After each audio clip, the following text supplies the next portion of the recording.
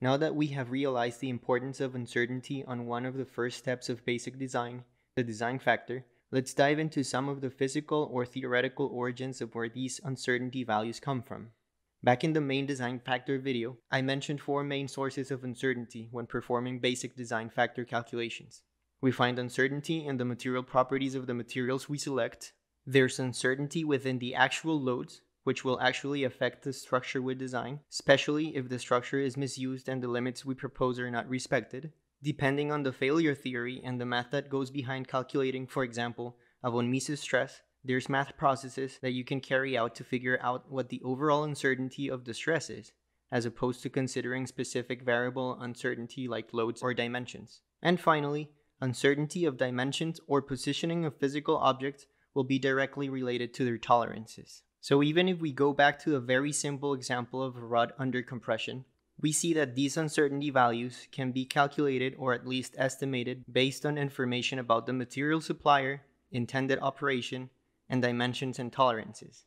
Or even math processes like error propagation, depending on the failure criteria we're following. Let's take a look at the material properties first. Let's say you're getting some brass sheets or bars that have a yield strength of 50 ksi. And let's say you're getting 1000 bars. Manufacturers will sometimes include the standard deviation of their products. And either if they don't, or if you're the one getting some samples from the company to calculate that variance yourself, let's say you also know that the standard deviation is 8 ksi. There's two common types of questions that quickly pop up. How many or what percentage of the bars will have a yield strength lower than 40 ksi? I might be interested in knowing how many of them will fail if I already calculated that 40 ksi is the limit. But going back to the design factor, where I want to know what the uncertainty for the yield strength is, we first need to set a kind of confidence interval value to know what the minimum value of the yield strength will be. These two calculations rely on knowing the sample distribution, whether it's a normal distribution or a Weibull distribution or any other kind of distribution. Let's assume a thousand samples is enough to believe a normal distribution is accurate. If you have any questions about normal distribution and simple z-value calculations, make sure to check the link in the description below. But for the purposes of this video, to answer the first question, I find the z-value that corresponds to a yield strength of 40 ksi. If I look up the value of 1.25 for z and the probability for that value in a normal distribution curve, I find that 89.44% of my samples will have a yield strength greater than 40 ksi. But again, if I'm interested in calculating my design factor, I will need the uncertainty of the yield strength. From a probability standpoint, I cannot guarantee that 100% of my samples will be above a certain value. But if I set a confidence interval like 90%, 95%, 99%, I can find a z value whose probability would reach that confidence interval. And with that z value, I can solve for the yield strength. Knowing that at least 95% of my samples will have a yield strength that is greater than 36.8 ksi, I can state that my worst case scenario includes a bar that has a yield strength that is 13.2 ksi lower than expected, or that it has a worst case scenario uncertainty of 26.4% which would allow me to do all the design factor calculations. Now, what about load uncertainty?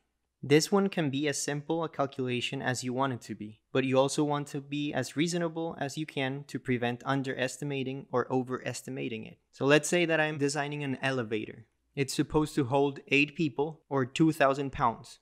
If I'm trying to avoid accidents, I will still recommend that the elevator be used with 8 people in it, but I will consider the case where, for example, 12 larger people are in it. It may be that, or maybe someone is just moving a refrigerator or some other appliance or piece of furniture that is really heavy.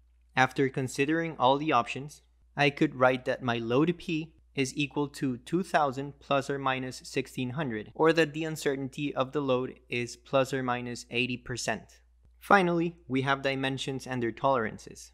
The first thing to note is that the nominal size is not usually the actual size. For example, a 1 half inch diameter bolt might have an actual diameter of 0.492 inches. And because not all manufacturing processes are identical, and because there might be variance between the manufacturing of one bolt and the next, these dimensions are usually presented as an average value plus or minus their tolerance. The tolerance can have the same value for the plus and the minus, or they can have a different value for the plus than for the minus, even though it ends up being the same dimension. An example of this could be a press fit, where you, for example, want the dowel pin to be 2 inches in diameter or greater, but never lower. In this case, your drawing might benefit from using the first type of nomenclature, instead of using a weird number like 2.002.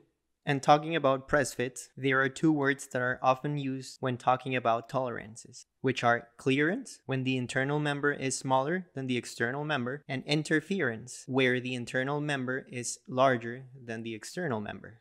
The values that you encounter as tolerances usually come from the machining process that was used to obtain the mechanical component and the specific value that you end up using within the range that you would find in a handbook comes down to the material you're machining, the size, the technician, the expertise, and even how accurate the machine you're using is.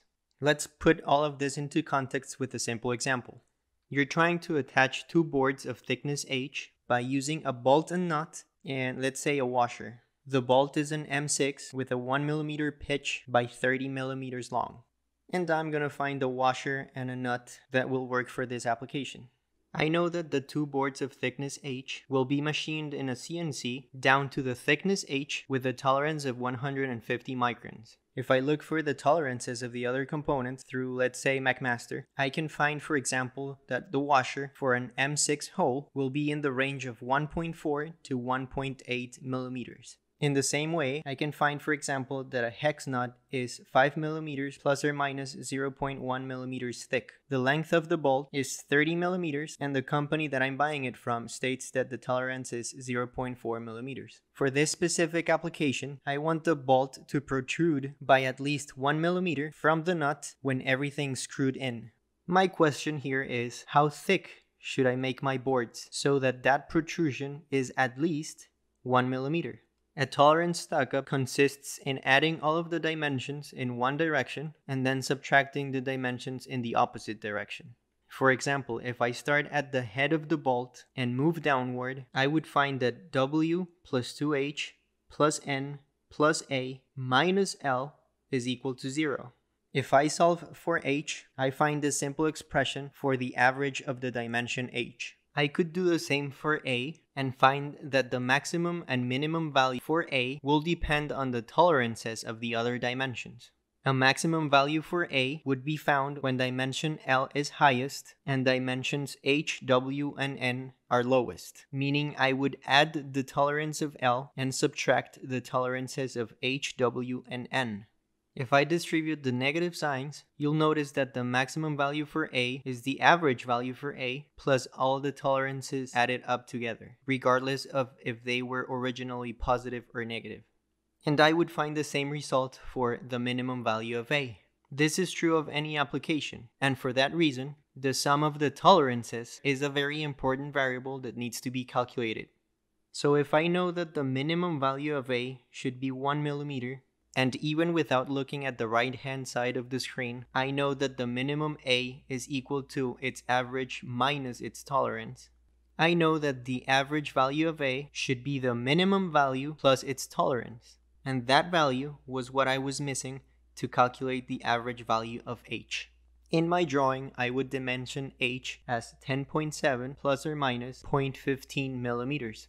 Quickly checking that these values make sense, the minimum value of A will occur when the length of the bolt is the shortest at 29.6 millimeters and the hex nut, the washer, and the two boards are the largest they can be at 5.1 millimeters, 1.8 millimeters, and 10.85 millimeters. If I add two of the 10.85 boards plus a washer that is 1.8 millimeters and a hex nut that is 5.1 millimeters thick and subtract that largest dimension from the smallest bolt of 29.6, I find that the protrusion is exactly 1 millimeter, which is exactly what I wanted. This process of tolerance stackups or tolerance loops will always be the same. And just as any other design problem, you have control over more than one variable. In this case the machining process and therefore the tolerance, but also the dimension of the part that you're designing. If you know what access you have to different machining machines, setting a known tolerance from the beginning might be helpful, like we did in this example. And then solving for your dimension is a trivial process. If you want to check out some other examples, make sure to check out the links in the description below. And in the next video, we'll take a look at an easier way to calculate deflections, since the deformations caused by the operation of my design can also affect dimensions between parts and therefore the overall design factor. Thanks for watching.